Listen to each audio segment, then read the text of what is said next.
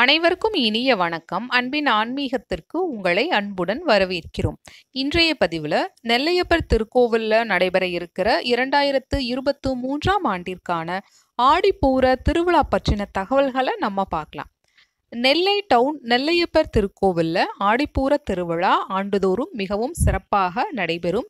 அதே போல இரண்டாயிரத்து இருபத்து மூன்றாம் ஆண்டிற்கான ஆடிப்பூர திருவிழா ஜூலை மாதம் பனிரெண்டாம் தேதி புதன்கிழமையன்று காலை ஆறு மணிக்கு காந்திமதி அம்பாள் சந்நிதியில் உள்ள கொடிமரத்தில் கொடியேற்றத்துடன் துவங்க உள்ளது.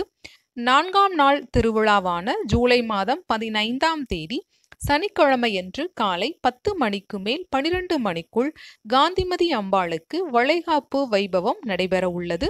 அன்று இரவு எட்டு மணிக்கு காந்திமதி அம்பாள் திருவீதி உலா வரும் நிகழ்வும் நடைபெற உள்ளது.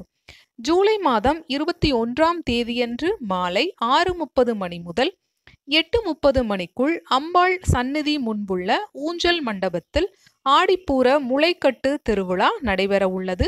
அன்று அம்பாள் கர்ப்பிணி போல் அலங்கரிக்கப்பட்டு வயிற்றில் முளைகட்டிய பாசிப்பயிரை கட்டி வைத்து அம்பாளுக்கு வளைகாப்பு நடத்தி சீமந்தம் சீர்வரிசைகள் செய்து அனைத்து வகை பலகாரங்களும் படைக்கப்பட்டு சிறப்பு அலங்கார தீபாராதனைகளும் நடைபெற உள்ளது.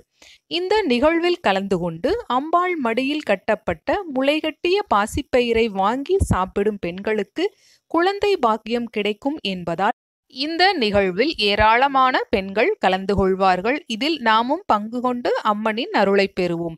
இப்பதிவினை இதுவரைக்கும் முழுமையாக கேட்ட உங்கள் அனைவருக்கும் மிக்க நன்றி.